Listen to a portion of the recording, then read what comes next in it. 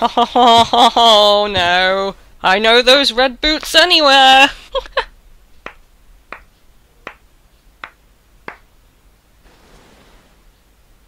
おめでとう実に見事な勝利だったね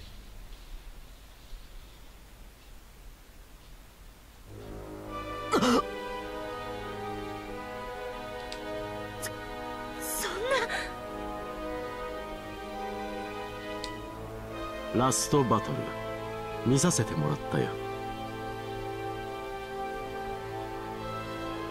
ヒースクリフ生きていたか Of course. it wouldn't be complete if we didn't have to fight Heathcliff. 身構えないでくれたまえ君たちにお詫びをしに来たんだ Hmm. 詫びだとここまで何の説明もしないでいたこと本当に申し訳なく思っている。なぜそんなことになったのかそしてなぜ私が生きているのかを君たちには説明しなければならないだろう。75層でキリト君と戦っていた時に発生したシステム障害が事の発端だ。あの時この世界を制御しているカーディナルシステムに予想外の負荷がかかってしまった。負荷の要因の一つはプレイヤーの負の感情によって引き起こされたエラーの蓄積。君たちがよく知っているであろうメンタルヘルスカウンセリングプログラム。MHCP 試作2号コードネームストレア。彼女はこの世界のプレイヤーたちが抱える負の感情に対処できず次々とエラーを蓄積していきやがて抑えきれなくなった膨大な量のエラーがカーディナルシステムのコアプログラムに流れ込んできてしまった。ユイの言っていた通りか。そして負荷の要因のもう一つが菅生君たちによる外部からの干渉だ外部干渉という例外的状況の対応にカーディナルシステムの処理能力の多くを割かなくてはいけなくなった。この2つの出来事が想定外の負荷を引き起こしカーディナルシステムの一部が暴走するという結果になってしまった。システムの暴走という非常事態により私は自動的に管理者モードに移行。キリト君との戦いの最中にあの場から消える形となってしまったんだ And let me guess, I'm here to finish what I started. その後も不具合の対応に追われてしまってねこうして君たちの前に出てくるのにかなりの時間を費やしてしまったというわけだ Yeah, no kidding. We had to get to the end of the game before we saw you again. つまり あの時勝負はついていなかった Knew it, knew it. We're gonna have to fight him again. Oh yeah. そういうことになる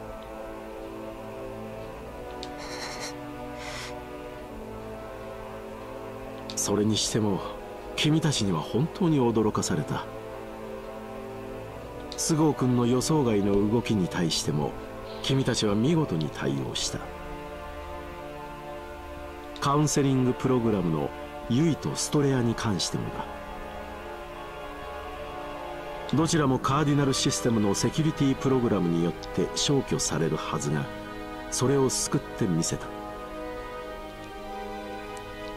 やはりゲームの運営には想定外の事態がつきまとうものだな。それが面白いとも言えるのだが。当たり前だ。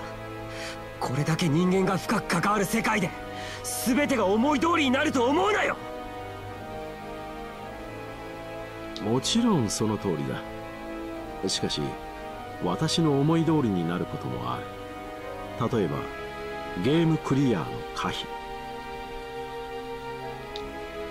の後に及んでクリアさせないなんて言うつもりじゃ。それはない。これでもフェアプレーを心がけているつもりなんだがね Well, how is it fair that we have to fight you as well? We've already defeated the blimmin' hollow avatar, then all the blimmin' corrupt counselling program data, then the blimmin' Straya, and now you? 君たちは間違いなく百層のボスを倒した本来の想定とは違うイレギュラーなボスではあったがね もちろんイレギュラーだからといって君たちの勝利を取り消そうなんていうつもりは全くない。そもそも最後のボス戦に遅れたのは私の方なのだから。改めて賞賛を送ろう。クリアおめでとう勇敢なる者たちよ。Oh, come on, there's gonna be a catch. We have to fight him, surely. 気に入らないな数々の比例は詫びよう。約束を違えたのはこちらの責任だ。そうじゃない。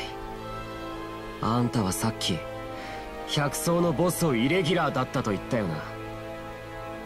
百層のボスは私が受け持とうとしていたからな。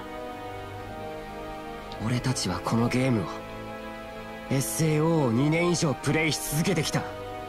文字通り命を懸けてなそのゲームのラスボスがイレギュラーな存在だっただと。それはプレイヤーに対する裏切りってもんなんじゃないのか。つまり君は無謀にもこう言おうというのか？本来のボスと決着をつけさせろと。Of course we do! Bring it on, Heathcliff!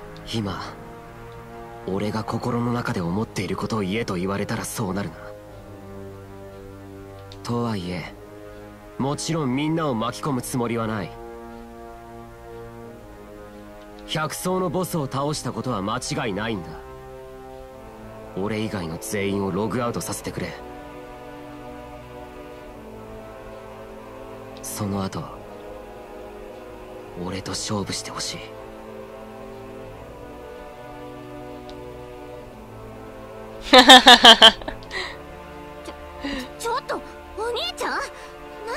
の？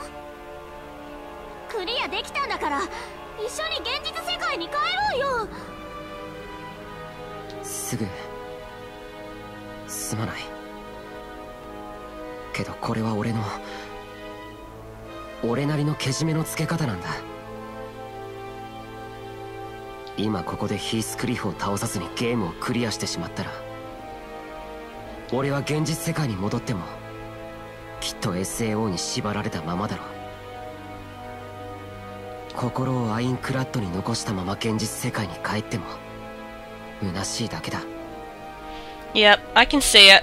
It's, you know, he needs the closure of defeating Heathcliff. そんな。大丈夫。すぐよりほんの少し帰るのが遅れるだけだ。先に帰って夕飯でも作って待っててくれよ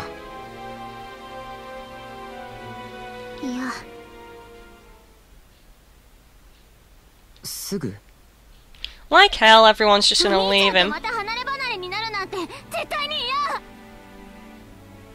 嫌。お兄ちゃんが残って戦うなら私だってそうする。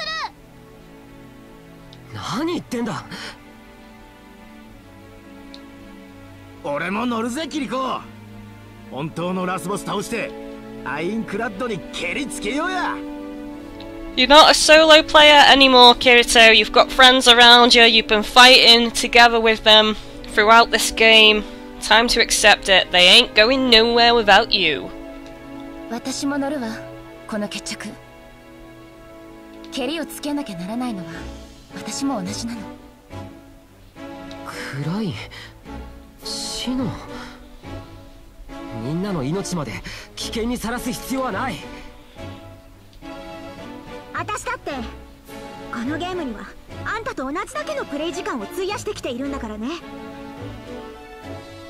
ここでしっかり終わらせないと費やした時間が無駄になる気がする一緒に蹴り Sorry about that, guys. There was a knock at the door. Anyway, let's continue. 私も残りますキリトさんを残して自分だけ帰るなんてできませんか？らキリトさんと一緒に現実に帰るんです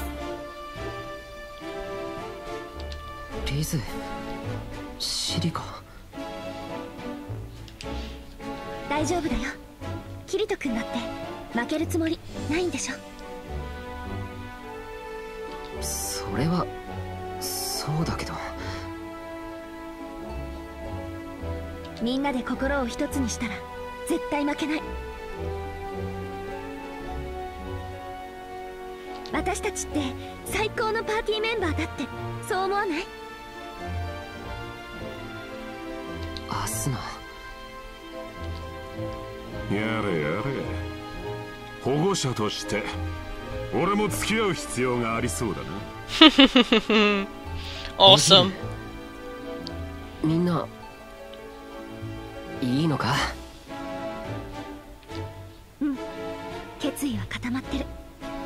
キリト君についていくよ。人の意志というものは本当に面白い。私はこの光景が見たくて SAO を作り上げたのかもしれないな。そのあんたの作ったこの世界を今ここで俺たちが終わらせる！よろしい。ではかかってきたまえ正真正銘のラストバトルを始めよう。Let's do this.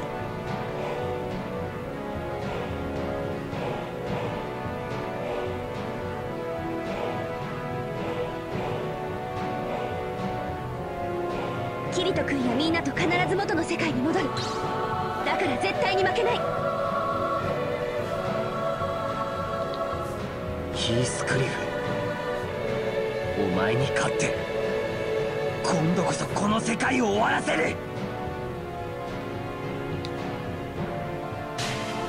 こうして最後のボスとして相まみえることができて嬉しいよ。望み通り決着をつけよう。キリト君「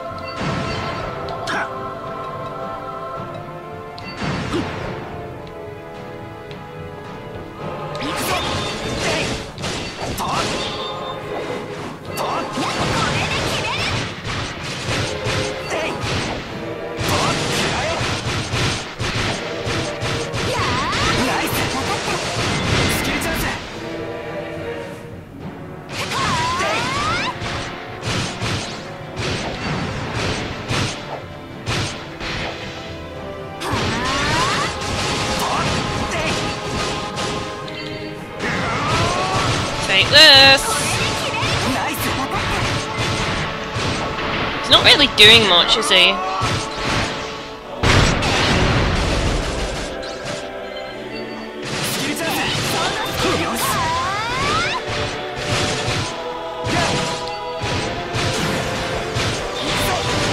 Oh, yes!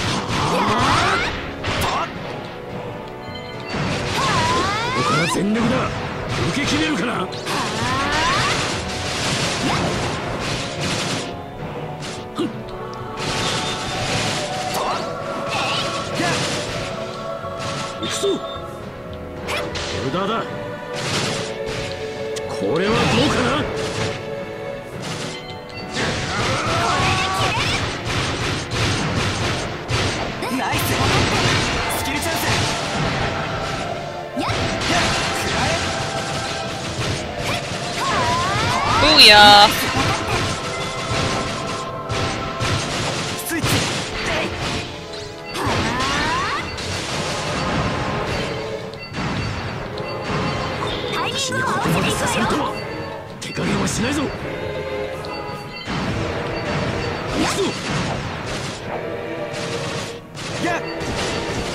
これはどうかな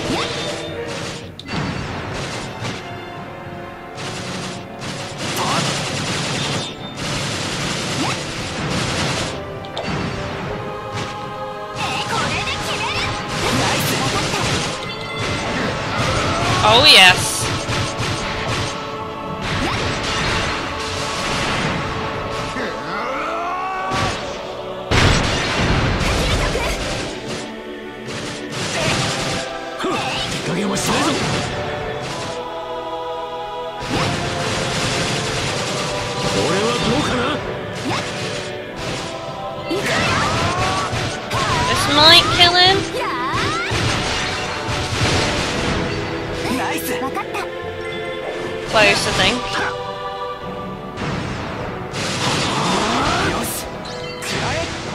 This will. There we go. ナイス分かった He was easy. 見事だキリト君 Congratulations, Kirito! ヒースクリフこれほどまでに鮮やかに勝利を収めるとは私の想定以上ださあアインクラッドの最後のボスは倒された。君たちが勝利者だ。これから順に君たち全員が元の世界に戻っていく。ヒースクリフ。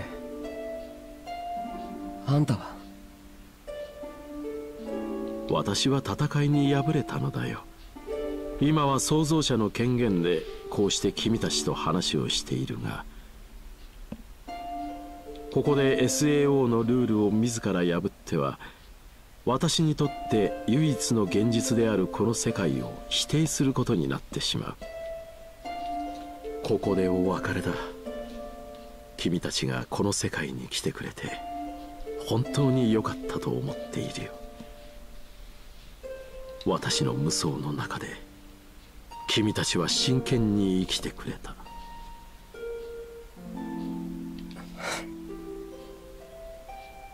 確かにここはゲームの中の世界だ。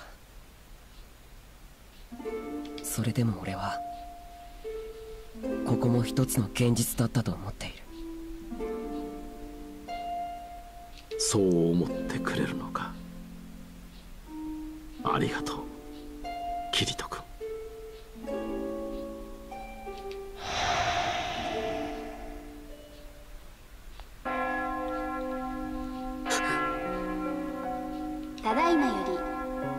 ヤーの皆様に緊急のお知らせを行います。現在ゲームは強制管理モードで稼働しております。すべてのモンスターおよびアイテムスパンは停止します。ゲームはクリアされました。ゲームクリア。これで本当に私たち。こ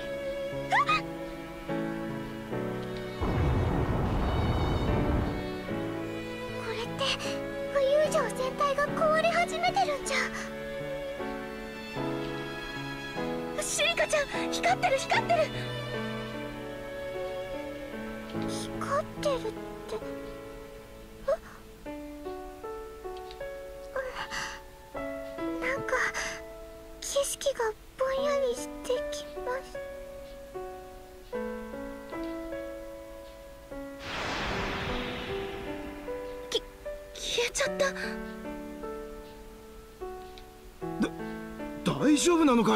おい。おそらく現実世界への転送が始まってるんだ。でも本当にこれでクリアなのかしら？いまいち実感が湧かないっていうか。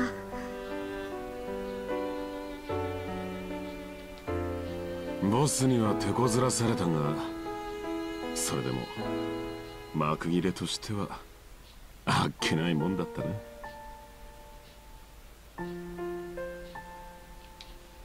そうね。この世界がなくなっちゃうなんてやっぱりなんだか寂しいわね。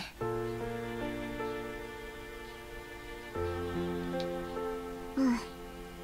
自分でも気づかないうちにアインクラッドでの日々を楽しんでたんだなって思う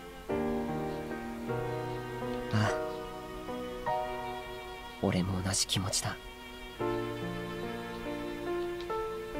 キリト君ほんといろんなことがあったね。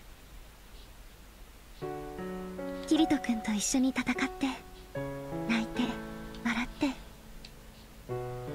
ゲームの中なのにここで過ごした時間が今までの人生で一番生きてるって感じた。俺もそうだよ本当にいろんなことがあった。ねえ私たち現実に帰っても変わらないよね。この世界で君と作った絆は本物だって信じているから。当然だよ。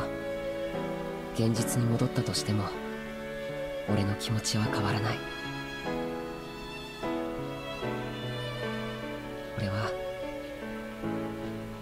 変わらずアスナが好きだ。Oh, cute. ありがとうキリト君。私も好き。愛してます。現実に戻ったら真っ先に会いに行くよ。待ってる。ずっと待ってる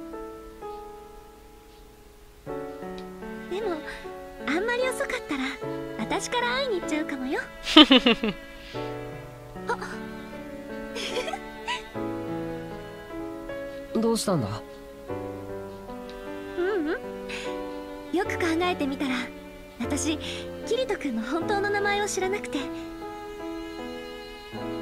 それなのにこんなに好きで愛しててネットゲームっておかしいなって思ったの。ああ確かに。現実とはいろいろ順番が違うからな。教えてほしいな。現実世界で呼び合えるように。俺は桐ヶ谷和人。あ年齢は16歳だと思う。桐ヶ谷和人君私は結城康奈。17歳です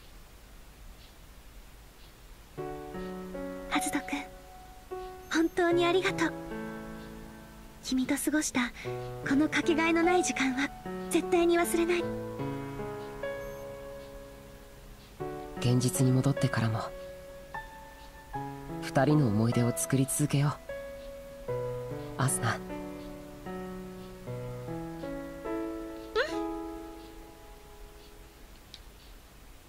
Oh, it's so cute. I've got actually got goosebumps on my arms.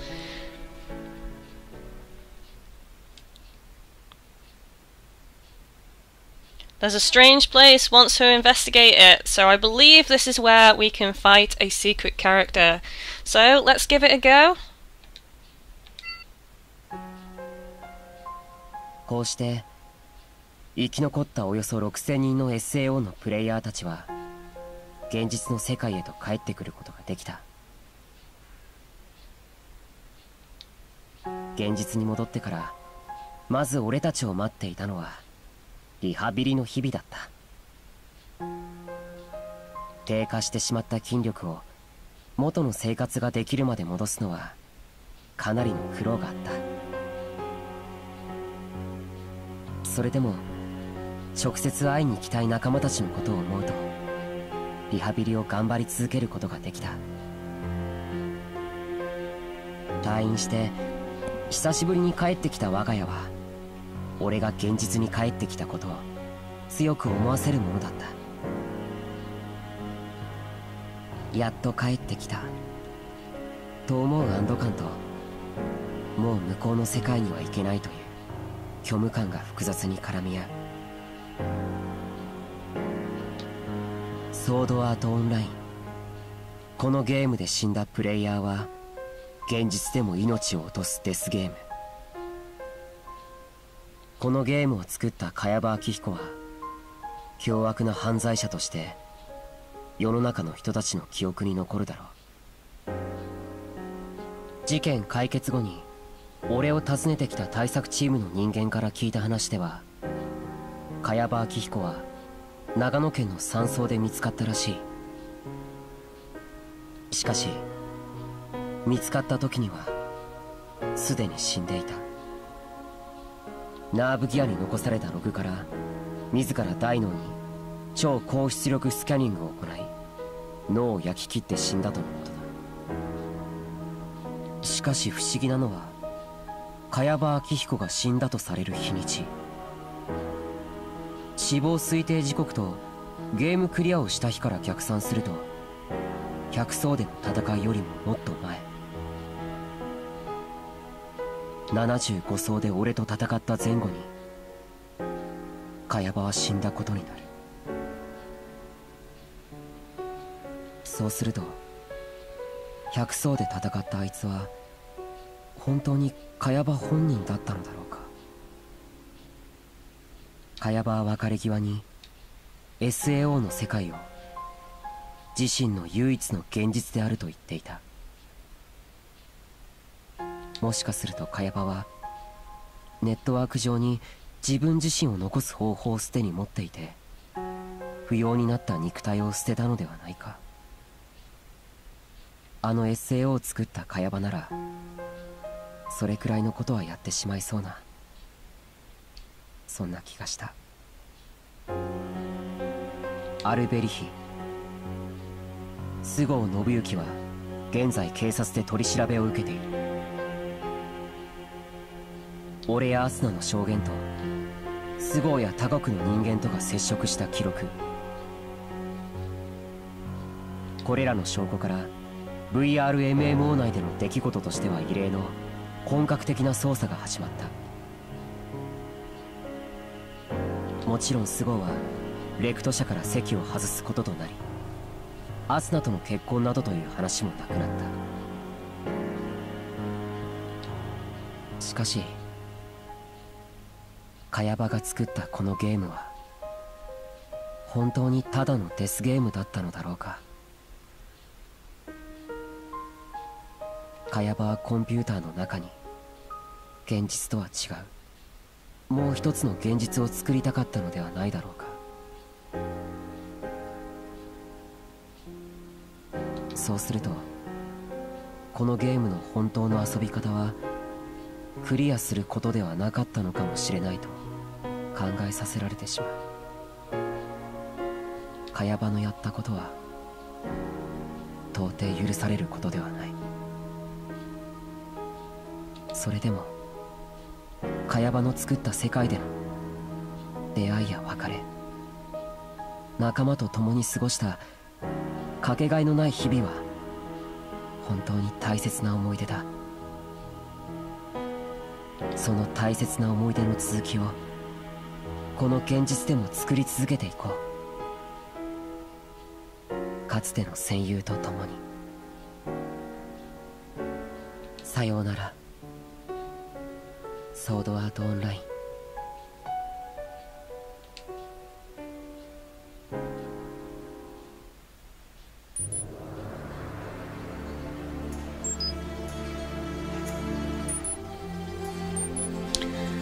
Wow. Okay, is this going to be the credits now, maybe? Or is this like a little recap? Yeah, here we go, the credits. Oh, at last we have finished the game, guys! It has been such a long, epic, awesome journey. So, to everyone who has watched this from start to finish, or, you know, watched loads of episodes, I actually commend you! you know, almost 250 episodes now, I don't even know what number this one is, because, uh, at the last floor I probably will have ended up separating the videos out because there's loads of di different sections. But anyway, that was just so, so awesome, the ending, and the game does do a really good job of explaining everything, even if you haven't watched the anime. So, as always, guys, I'm going to do kind of like a mini review, thoughts and impressions of the game, pros and cons, and stuff like that, as I always do when I come to the end. So, what did I think of the game? Well, as most of you will know, the translations are pretty bad. This is the English Chinese version. I know a lot of people say it's the English Japanese version, but the box art says English Chinese, and the subtitles and the manual is Chinese, and the official listing where I purchased the game was English Chinese, so it is the English Chinese version. Uh, you know, at the end of the day, it's on the box and stuff like that. But the voices are Japanese, and uh, the translations themselves were pretty awful. But to be honest, most of the time they were pretty funny. Um, I did really enjoy some of the mistakes and some of the words used, they did make me laugh. Apparently, Lost Song is going to have better translation, and I have mentioned this a fair few times. I will, of course, be doing Sword Art Online Lost Song. I'm probably going to be getting the PlayStation 3 version because it will be slightly better graphically. Um, and it's probably going to be easier to film, so that's the version I'm most likely going to get. So gameplay wise, the game is awesome. Um, it seemed quite overwhelming at first with all of the different skills and you know different types of combat you can use. You don't have to use dual wielding, which is Kirito's signature type of combat. You can use all sorts of different weapons and stuff, so it can be a bit overwhelming, but just feel uh, get a feel for the combat and see which you prefer to use. Obviously, I stuck with dual wielding because I wanted to stay true to Kirito. Um, I obviously changed his hair to red because I have red hair, and uh, I wanted to make it feel more personal to myself, but I still wanted to go with dual wielding, and I thoroughly enjoyed it. I've enjoyed the sword skills, though I will agree with someone in the video comments that said they seem a bit slow. It would have been nice if the animations were a bit faster for those, but I still enjoyed them nonetheless. Um, the hollow area was an interesting area. It was quite tough at the start, so I did do some leveling before I ventured into there, which did help me out. And I really, really enjoyed Philia as well as a character. And uh, you know, it would be really nice to see her come into, you know, the anime if that will ever happen, which I very much doubt. But it would be nice to see her in the anime, to be honest, or see her character develop more as well. Um, I did really enjoy her because when she came back from the hollow area, once you've cleared that, um, you know, there were some scenes with her, and um, you know, later on they just seemed to stop a little bit, which was a shame, but I did really enjoy them. Um, what else can I talk about? Some of the monsters were pretty samey. Oh, okay. I need to shut up now. This is in the real world. I'll finish off my little review after this bit. Okay guys, so I instead decided to cut the video there, and don't worry, I will be showing you this cutscene after we defeated Floor 100 and are in the real world on another episode, so don't forget to check out a link to the playlist in the video description.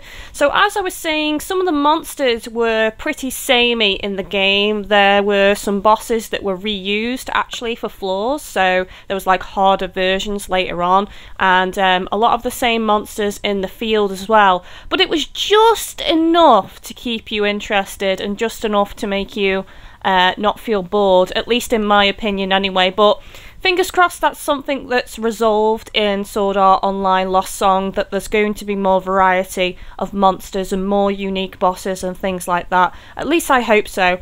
I'm really glad that they kept in the last hit reward as well um, to get special items from the bosses, although I won't be able to get the trophy because I actually sold some of the last hit items and also uh, gave some of them away to the females. You can actually get them back from the females, but if you sell them, then you will be out of luck for that trophy. So I definitely won't be getting a platinum on this game. I'll probably have to play through it again, but because I'm not much of a trophy hunter, um, I probably won't bother doing that. I'll probably just get the remaining ones that I know I can get, like um, maxing out the relationship status with the females.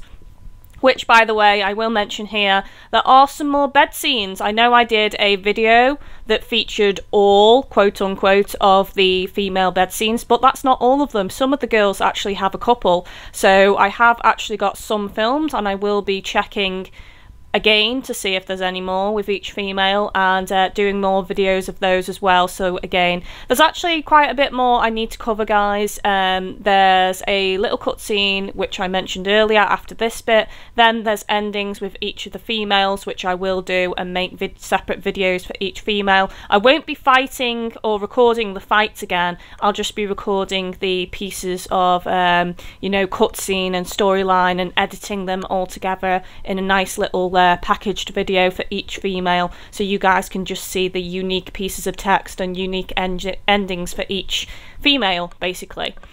So, graphically, the game is okay, but then again, you can't really expect much when it's a PSP game, uh, slightly remastered for the PlayStation Vita with some minor upgrades. But, you know, it still looked pretty nice, it was still colourful and vibrant. But obviously, the next game, Lost Song, we should expect great things from that graphically. And already, it's looking really nice on the Sony PlayStation 3, and I'm super excited to cover that.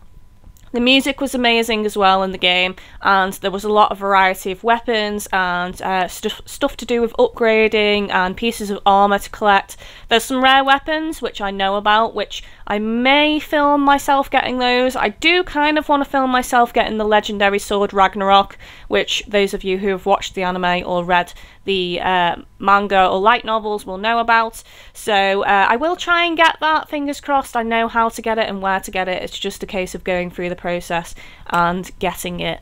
Um, but yeah, I thoroughly enjoyed the game it did end up being my uh, number one Vita game of 2014, and that's because I've played it the most. Um, I recently got Freedom Wars around the time of making that video, and I hadn't played enough of it to actually put that at number one. But um, Sword Art Online has been thoroughly enjoyable, and despite the English, um, you know, I've still really enjoyed the game and I overlooked it really. And yeah, I just loved seeing the characters in the game, seeing the characters get developed. Um, there was a lot of fan service in this game, and I know a lot of people are either lovers of fan service or haters of fan service, but personally, I don't mind it. What I didn't like, and I spoke about this with someone, and I find it really hard to explain, is that they made the women seem stupid a lot of the time to cause these inappropriate, embarrassing moments, and it wasn't really necessary. You can still have those moments without making the women look thick. Like, you know, they'd run out screaming out of the shower with a towel on, and, you know, then they get annoyed at Kirito, despite the fact that they've run out with their towel on, and they get annoyed at Kirito and blame Kirito and call him all sorts of nasty names like pervert and stuff like that. And that slightly irritated me, but it wasn't right away. It was like towards the end of the game after I've seen a lot of those types of cutscenes, and I guess it slowly uh, grated on me and got on my nerves uh, as the game progressed. So I'm hoping that that's something that gets changed in the next game, or those scenes are, you know, like further apart so that it's not as much as a little niggle of mine that irritates me. But other than that, I enjoyed the fan service. Um, you know, there was some really funny moments. A lot of you guys enjoyed it in this Let's Play walkthrough. I mean, some of those episodes are like my most popular in this series, you perverts, you. but yeah, I thoroughly enjoyed it. So I've spoke about the music, I've spoke about spoke about the graphics, I've spoke about the gameplay. Well, I liked the floor clearing part, and I also liked the hollow area part. And there's still a lot more to do in the hollow area and stuff. Um, when it comes to this game now, I wouldn't say I have finished this Let's Play walkthrough. As I said earlier, there's a couple more things I want to do, but I could really continue it until the next game comes out, just doing videos here and there, just to keep the hype going until I do Sword Art Lost Song. So I am consider considering that, guys. But obviously, at a certain point, once I've done uh, all the female endings, and um, I've got a couple of side missions that I didn't do with floor clearing, you know, where you pick them up from NPC Kirby. So I might do some of that, like finishing off some of them. And then after that, if I decide to do any more videos of this game, it will just be as and when. So don't expect them to be every other day or maybe not even weekly. I'll just do like things as and when. Um, but if there's anything specifically you guys want to see or you want me to cover, then leave comments down below on this video because I will consider it, um, you know, and I will think about it if I have got the time. If there's anything specific extra that you want to see that I haven't already shown in the walkthrough. So, marks out of 10 for this game, I'd have to give it a 9 out of 10.